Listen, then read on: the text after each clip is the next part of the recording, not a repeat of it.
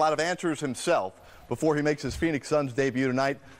In Boston, we're joined by Kelly Oubre. Kelly, th thanks for taking some time out. I know it's been a, crazy few days for you here. First and foremost, man, we got to get one thing out of the way. We know athletes are superstitious. You wear 12 with the Wizards, and now we're going to see you in number three. Tell us what Yeah. that's all about.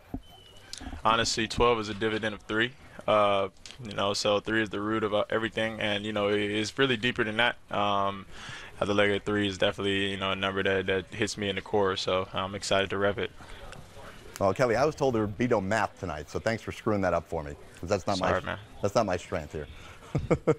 hey, listen, th- th- there's no doubt about it that Friday night into Saturday night, NBA Twitter was on fire watching what was going on with all the craziness of the three-team deal that had you on your way to Memphis before ultimately going to Phoenix, where you are now.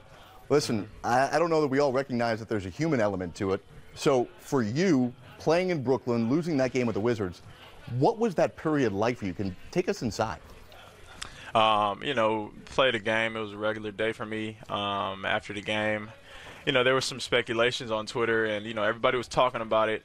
And uh, I'm, I'm getting, I'm getting ready to get in the shower and everything. And I go in the shower, and everybody's kind of just looking at me, and you know, with with this look, and I feel the energy. And I'm like, you know, what's going on? Why y'all looking at me like that? And you know, guys told me, uh, you know, yo, you got traded to Memphis and all that. So, uh, you know, I just kept my cool because you know I didn't see it yet. My agent hadn't called me, so I didn't really know what was the deal. But you know, it, it wound up to be true, and then it fell through. And then, um, you know, I'm I'm on the bus on the plane with the team, and everybody's just like, man, that was messed up. And I'm like, okay, cool. Next morning, I get a call from you know Tommy and Ernie that I've been traded to Phoenix, and honestly, you know, I didn't have I was super numb at that time, so you know, I didn't have any feelings towards it. And I'm here now, man. It's a blessing, honestly.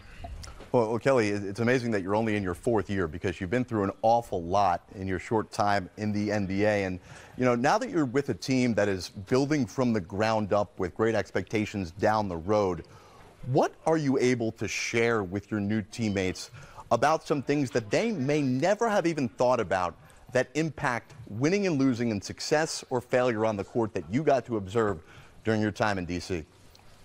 The game is full of ebbs and flows, man. Uh, you know, ebbs and flows, ups and downs, highs and lows. So, you know, at the end of the day, you have to continue to move forward. You have to continue to persevere through all the adversity that comes your way, man, and just come out on top.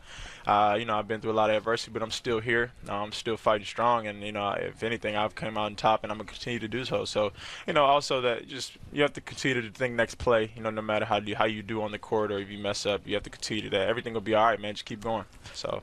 Kelly, as- we, we know from watching you, you're a guy who plays with a lot of emotion. So, how perfect is it that your first game with the Phoenix Suns is against the team that you've had some heated battles with over your years in the league? What's it like to be back in Boston, a place that you have gone, like I said, to war with this team? Yeah, uh, to, you know now next next man up. I'm going to war with a, with a new team, man, and I'm happy and I'm excited for the opportunity. It'll be a you know it'll be a great game tonight, man. We got to come on and play hard, just like we've been doing the past four games. So I'm excited.